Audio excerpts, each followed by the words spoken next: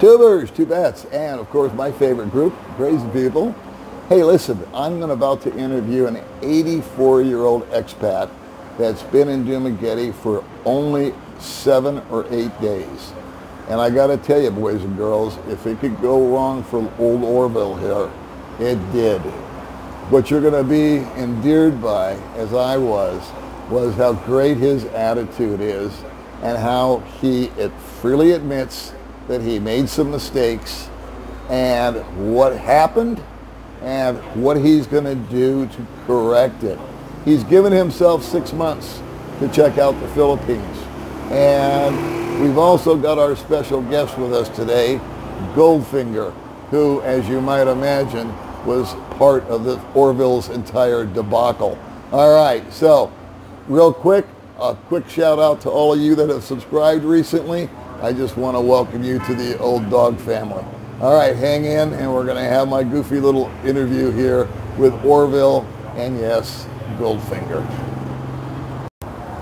Okay, so I am here with my friend Orville and my arch enemy Goldfinger. How's it going, everybody? I'm back. and this is a fantastic little interview set up by Goldfinger with his buddy Orville. Yes. Now, my friend oh. Orville. And I just found out you've been watching the channel for a couple of years, huh? Four years. Wow, you are a rock star. Thank you, brother. Yeah. So, Orville, I want to hear a little bit about you. Number one, where are you from? I'm from Lake Jackson, Texas, which is 50 miles south of Houston. Okay. And you're how old? How old are you? I'm 84 years old. 84 years old. God bless you. And um, how long have you been retired? I've been retired 29 years from Dow Chemical. And so what did you do in America for 29 years after you retired? Well, I went into business for a while. When I first retired, I bought a motorhome and traveled around in the Southwest mostly Okay. and the Northwest. Okay. And then after that, after about five years of that, I went into business down in the valley of Texas, the Rio Grande Valley. I sold costume jewelry for about 14 or 15 years. So after you retired, you didn't really retire. I've You- never been really retired. Understood. and so now that you're 84, you decided to actually retire. I'm uh, actually going to retire and try to live off of my income, which I have Social Security and a small pension from Dow Chemical. Understood. Well, that's awesome. Tell me something. Why did you choose the Philippines? What's the main reason for you coming to the Philippines? From watching you and, and uh, some of the other bloggers Uh-huh. that are here in the in uh, Dumaguete, Uh-huh. and uh, I got interested in the place, and I watched you for four years before I came. Well, let me apologize right now for wasting all your time. Well, the cost of living is quite a bit lower here Sure. than it is in the United States with all the inflation. Of course, there's inflation here also, but uh, it's not quite as bad as it is there.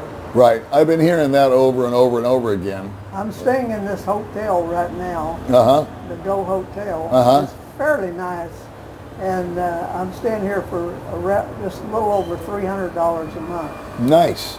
In fact, I'm going to feature this hotel in an upcoming video. Oh, good. But that's neither here nor there right now. So you are, um, you're here for economic reasons. Anything else? Well, I'm also a devout Catholic, and it appealed to me that this was a Catholic country. Uh-huh. And I like taking pictures and posting them on uh, Facebook Okay. for my friends and family of beautiful churches. So that's one of the things that I'm going to do while I'm here. I think that's fantastic. You know, the first two and a half years that I lived here, I did the same thing. I wasn't on churches, but I would do Facebook photos and videos for my friends and family back home. When I was leaving, they were trying not to get me to go, but I promised them that I would be sending them lots of beautiful pictures, and they okayed my going because of that. That's awesome. So what's your, you got a, a game plan too that I agree with. What's your game plan? How long are you going to be in the Philippines? My game plan is to stay this time six months Uh huh. uh, before I make up my mind about whether I want to stay or not. Okay. And if I really like it after six months, then I'll go home, sell my car, and come back and stay longer. Orville, I've got a big compliment for you, and I've got a big thank you for you. Not only have you watched my channel for four years, but you're the absolutely positively first person that actually listened to anything I said. I thought maybe you may listen to everything you said. Well, we'll talk about that later. but no, really, I think that that is so smart. Goldfinger. Let's get you to chime in. We're we talk about slowing down, and we felt uh, you felt you called me up and told me about Orville, and the one thing that I think Orville may have had a little misfire with was the slowing down part. Right. Okay, so he's going to give it six months, and I think that's great. But you're of the impression, in fact, you have living proof that you think Orville moved a little too quickly. I Can you elaborate? I met Orville at Ground Zero, and I, I instantly liked him. He's, he's really a nice guy, okay? And uh, but he was in a he was in a rush for everything. He wanted an apartment or a house, Uh huh. and, and I put him in touch with somebody, uh, and, and and then he he wanted a bike because he said he used to ride at 650. And uh, I said, well, let's get you a small little thing. And he wanted something. He didn't want a small little thing. You know, he wanted something decent. I said, okay. And it, and then I, I, I put him in touch with that, and he wanted a bike to ride. And then he also uh, wanted a girl. I says, you got to slow your roll there, guy.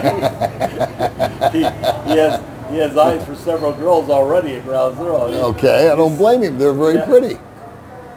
I don't think we ever grow old No, uh, when it comes to females. Okay. no. You know, when we're when our 60s, 70s, 80s, 90s, um, even though we look like you know death warmed over, we in our brains For we yourself. still we still think that we're 19 years old. I, you know, your, your mind. You mind- agree, Orville? I I mean, agree. I I mean, agree. nothing's brain- changed when it comes to women. I mean, a pretty woman is a pretty woman. Yeah, a short stopped. skirt is a short skirt. One walks by, you're going to look. I don't care how old you are. Right. All right.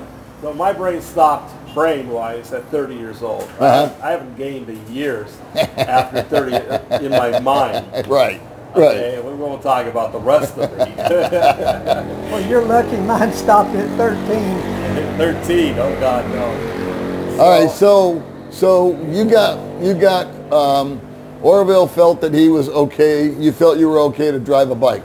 I did because I'd been driving one before, even though I had sworn off because I had a pretty traumatic experience. Mm-hmm. I was I had driven it to Walmart one night, my 650 Suzuki, and I was coming back and some guy jumped out and spread eagled in front of me.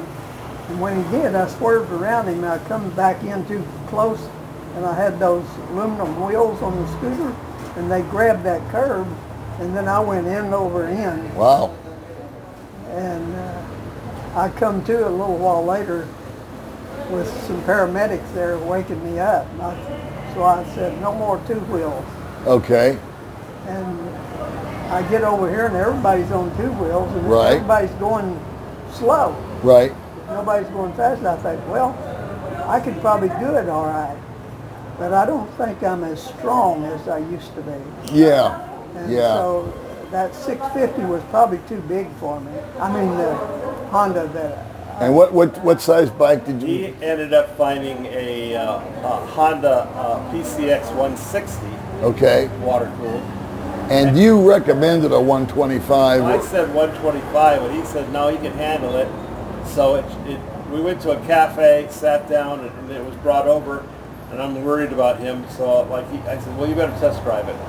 So he test drove it, and he seemed okay on it. Actually, he, he made a U-turn, he went up the street, went back down the street, came back, and uh, he seemed like he'd be okay. And he wanted to follow a realtor that he had already contacted. Okay. Okay, and he was going to follow her on the bike to go see places. Okay. Okay. And so uh, I figured, okay, now I, I actually saw him three days at this cafe. So the first day he got the bike. The second day he goes and looks at, at uh, apartments and he laid the bike down, he tells me, twice. Okay. Uh, and I, but but it was he didn't get hurt. Okay. He, and he says it was just kind of you, you swung wide, right? You just swung a little wide. Okay. And he actually just put it down, but it was too heavy for him to pick it up, and too heavy for the. Um, it was um, a girl that works for uh, Al. Is it okay to say the name? Al? Uh, it, it's a it's a girl named Angel. That yeah, sorry, noise. Angel that works for uh, Alma Folco. Okay. Okay. And, and I always recommend her. Okay. So I put him in touch with her. I actually know her. I put him in touch with her, and uh, then what we did, uh, he, he he's following Angel, but he was only in, he was only interested in the fact that he wanted to date Angel, who's tw- in her young twenties. He's 84. He wants his young. He's gonna run after this young 20 girl. But he couldn't forget. He didn't care about putting the bike down. All he talked about was Angel. right. Is that right? You did. I don't know if you realized it. You liked Angel, did you? Well, yeah, she was a nice kid. She was- Okay, so let's get back to Oh, the I'm bike sorry. now. So we've had two motorcycle accidents. Well, I told him. I and told, didn't we have three? Well, so we had two laid down, and I said, let's get a smaller bike. Okay? And, and no, he wanted the bike he had. He said he's fine. He's, he's ready to go. Okay. Uh, in, the, in the meantime, he had a couple other problems we'll talk about. But on the third day, he crashed looking Uh. at apartments. right here, right here in the parking lot. I mean, Right here in the I really, never parking got lot. out of the parking lot. You never made it out of the Go Hotel. He really crashed bad. And how did you crash? Did you hit someone or did No. so- someone hit you or? I hit the curb. Oh, you coming out, you hit the curb and you put it down. I backed it out. It was hard to back out because this rock, it's gravel. a rock gravel Yeah. parking spot. So I backed it out. I'm ready to go, and I gave it too much gas, and I lost control of it.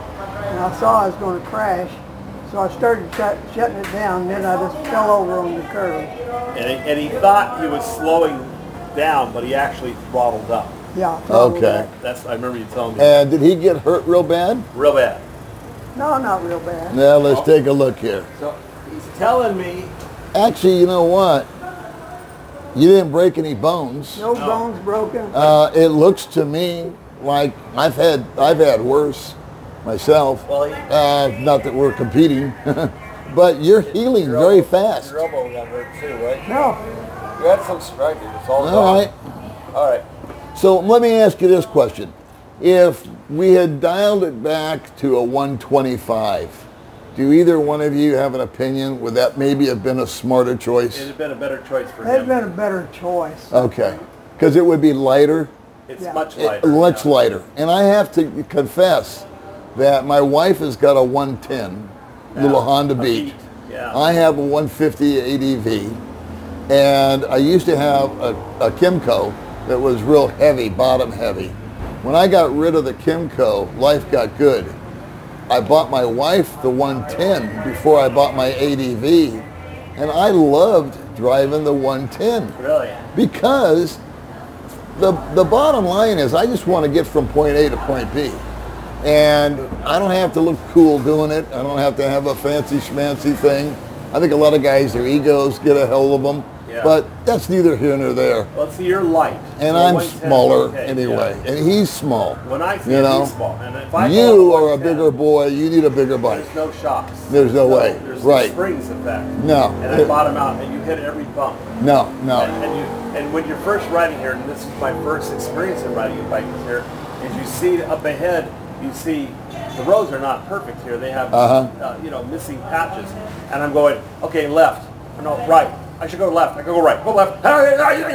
Yeah. You go right over it, and then next thing you know, you're you're about to crash. Okay. Okay. And, and you need a bike that can handle that. So if you go right over a, a hole now with the 160, you don't even notice it. Okay. So let's let's get into the the meat of the matter here, which I think is um, the one thing that I've always preached over and over and over again that no one seems to listen to, and I understand why, is I tell people to slow down. Right. And Well, when I say slow down, I mean, to get in, get settled down, check in for 30 days at a hotel, which Orville is doing. Now. And Yeah. now, Yeah. okay, now he is. Um, the rush to get in, if you've got six month window, I mean, the first Even if you have three week, two weeks, I think, should be just letting your body get readjusted to the time zone, get used to where some food is, uh, take some public transportation, possibly check out rental bikes. It depends on on you and and see how it goes. Rent one for a day or two, see if it works, see if it doesn't. The key element I think is just not trying to get it all done in one week. And I get it because when I came over here, I was the exact freaking same way. I wanted to So was I. I wanted to find a place right away. right. I want, and I've said it before. If I had it to do all over again, I would have checked into a friggin' hotel for a month, and I would have just chilled out and and gotten the lay of the land. You gotta slow your roll. You got to slow your Now you should rent. You shouldn't buy. He bought yes. the bike. Yeah, he bought the bike. another problem. So now we got another issue with Well, that. the bike is highly damaged. Yeah. Like a lot. yeah. Uh, it has some, you know, when I rode it, I rode it to the to repair shop, and I felt a little bit of a shimmy, and I thought, well, it's just out of balance. No, they don't balance the wheels here like they do in the states. They replace them, and he he, he messed up the whole fairing. The step is cracked. Uh, so there's some, uh, you know, brackets that need to be replaced, and the headlight doesn't work anymore. Okay. Well. I don't know why. The headlight's got a crack in it, but it's just a small crack. It don't work. those are just the consequences again. I think. But of- the repair parts here are astronomical, and they take six months. Honda does not stock parts, right. so when you order everything to replace parts, you know, like you might need, you got a long wait, uh, and it's it's very expensive. Uh, they they don't have like uh, body shops here uh, that do a decent job. Uh, I found one and I was afraid to leave the bike there. It looked pretty bad. There was a lot of unfinished and messy floor, messy cars, and a lot of unfinished. Well, there's a point where you should slow down Yeah. because this is a chance now for you to stop, ask a few people, talk to a few guys, check with guys like me or this guy or that guy that's been here for a long time and say, hey, where would I go? Who do I see? Who do I talk to? Yeah, there's no I think hurry. there is no hurry. No. And you know what's so important over here, and you've already begun by meeting Goldfinger, is an influential, positive circle of influence of men that are your friends, like Goldfinger, who's gone out of his way to help you, just out of the kindness of his heart. He's met a couple never. He's a good friend. Yeah, He He's a is, good no, friend. Goldie, I know him. He has never ever wanted to do anything but help. And speaking of help, um, we're gonna plug your ebook right now. Right. Okay. So the ebook, the purpose of the ebook, this is your 20th revision. The Yeah. reason I know is because you sent me 19 that you made me read. So this is going to be a 21 pretty soon. And finally, I think to be honest with you, Goldfinger, I gave up on about 14. Well, and so when it's you sent me when I- you sent me the 20, hold on a second there, Chief. It's an ebook for beginners, for dummies, for first-time It's- expats. It's called Do Again. And on the screen here somewhere, uh, at some point in this conversation, I'll get May to type in your email. Okay. And people can email you for a free copy Right. of your email. And what's it called and what does it contain? It's Dumageddon for Dummies. Okay? Okay? It has everything in there. It talks about everything that Orville did wrong. Okay. what a good sport Orville is. I love this guy. He's funny because he can laugh at himself. He's pretty cool. So, He's going to fit in here he's well. in fine. Yeah. It talks about, of course, the Bureau of Immigration, your visas, your SSRs, your RV long term, your short term. It talks about uh, how to get discounts on flights, uh, airlines, how to book a hotel, what hotels are best, restaurants, uh, you know, how, transportation here. it, it, it even goes in the end about the ladies, okay? Okay. And, and that, that was the hardest one to put in there because, you know, you, I have to be fair to everybody. Sure. okay? To, to the Filipinos and to the Americans. And, and so that's, that's in there too about how, how to find, how to uh, find a girl, where to find All right. Well, that's very It's useful mostly information. about Dumaguete, but it can be applied to any city. I agree. Okay. Okay. Good. Good. Good. Well, the We should restaurants. call that the Philippines for dummies. Philippines for dummies? Well, I, I, I live in Dumaguete, so I call it, and it, it rhymes. Plus, you you're know? talking about restaurants here and all that yeah, kind of stuff. So. hotels here, so But the general consensus is is that if somebody has information, a, a, an idea about how, how to do a throwaway ticket or how to how to uh, Yeah, all how, where's how to do immigration, how long is my Yeah, visa good for? Those are the questions you and me get bombarded with Oh, all yeah. the time. Orville, we're gonna wrap this up with you, kid.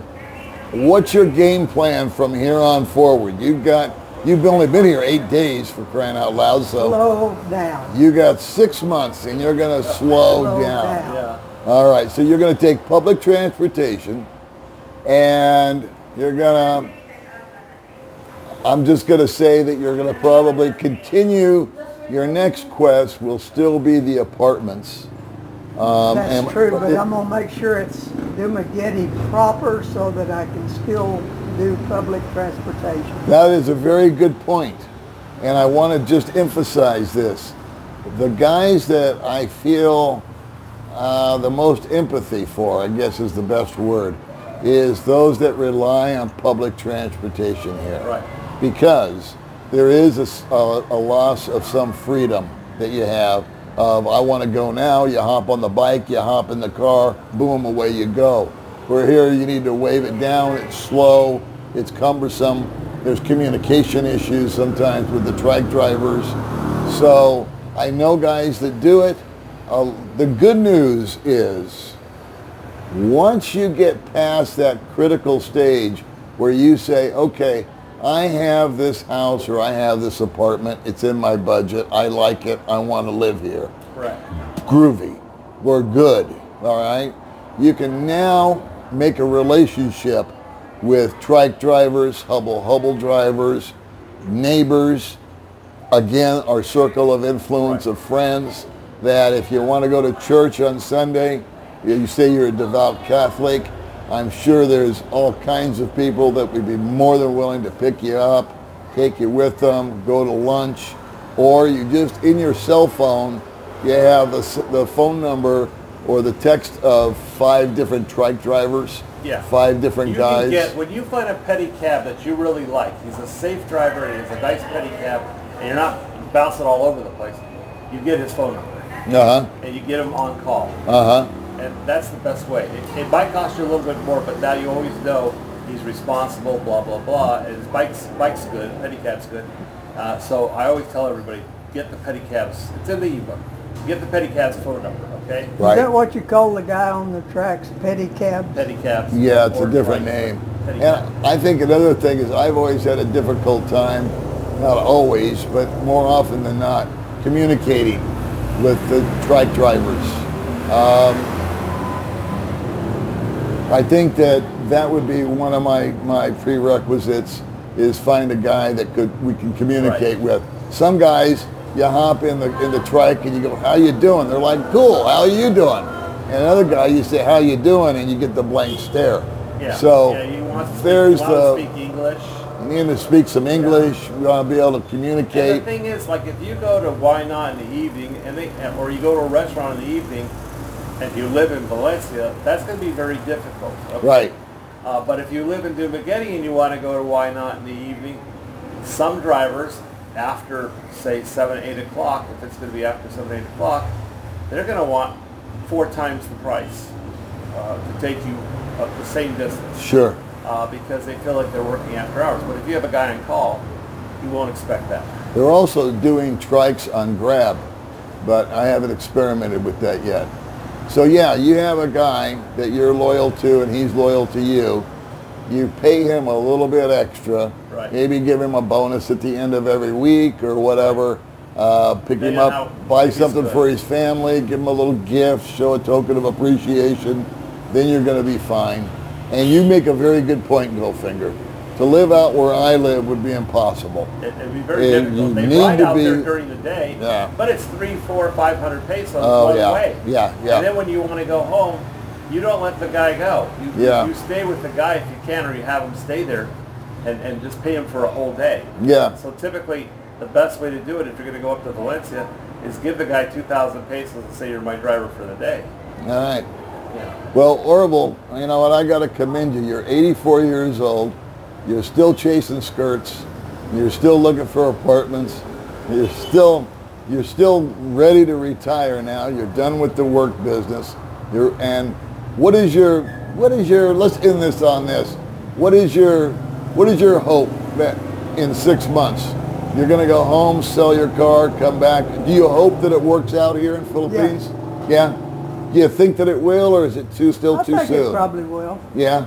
Okay. For- It may not be Dumageddon. It might Okay. be- I, I intend to look around a little bit. Right. well, you know what? My friend Chad Foster made friends with a gentleman your age, and he found that Cebu was a much better fit for that because there are areas there where there's like self-contained cities where you live in a condo, the rent's a little higher, but you come downstairs and you don't even need a pedicab.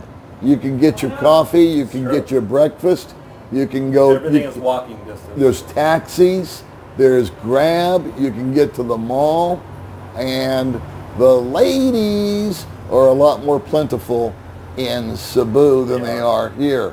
So that might be something we'll follow up with you on. I need to And- give one more story about something that happened, and only in the Philippines would this would this uh, happen. He lost Orville on the second day. Oh, that's right. He lost his iPhone, Uh-huh. iPhone 15. You cannot get an iPhone 15 here. Okay, they're expensive and they're not available. That happened the first time I laid it down. I lost my phone. When he phone. laid down the Fell out of your pocket. So I said to him when I saw him, he was very upset about losing the iPhone, naturally. Naturally. Because all his contacts are in there and everything else, and he had the USA phone number in there. So what I, s- I said to him, have you tried calling it?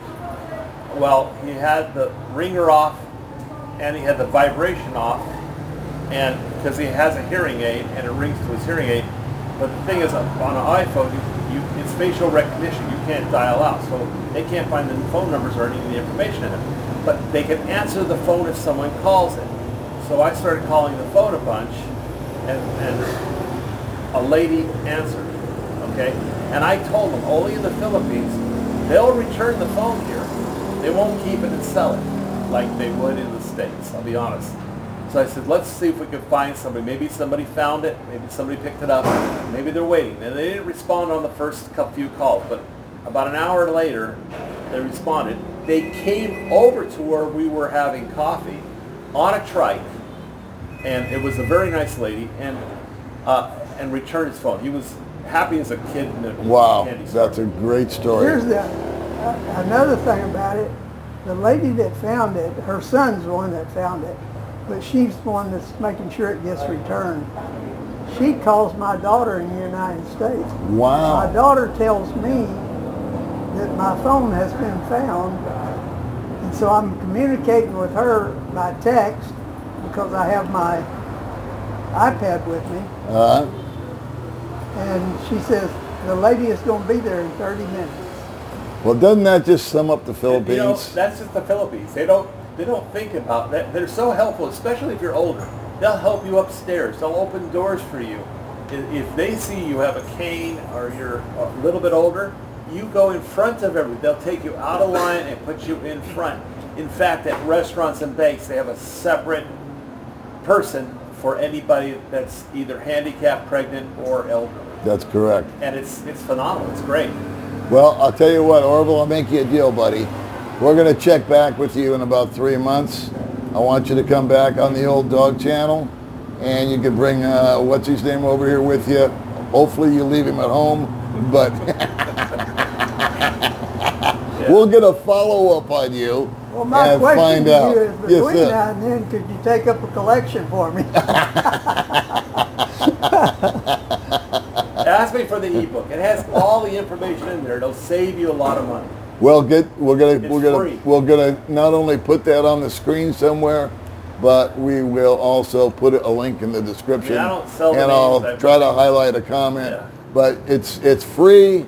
It's it's what you want to do. It's your contribution Yeah. to the Philippines. Because a lot of people ask me questions, and I put all. And every time a new question comes up, that's how you get a, a, another version. Okay, I good. go, I didn't think about And that. how many I of those say, have you given away so far? Uh, hundreds. Hundreds. I haven't counted hundreds. And we haven't promoted it at all.